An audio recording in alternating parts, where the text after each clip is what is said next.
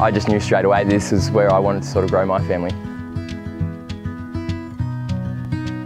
Everybody's sort of very supportive of each other and um, are happy to sort of let someone know if their dog's gone missing or, um, you know, if, if something isn't quite right and, and we always feel really supported by our little community out here so um, that's also been something that's really nice to be part of.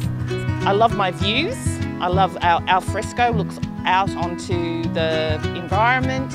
I've got some fantastic neighbours.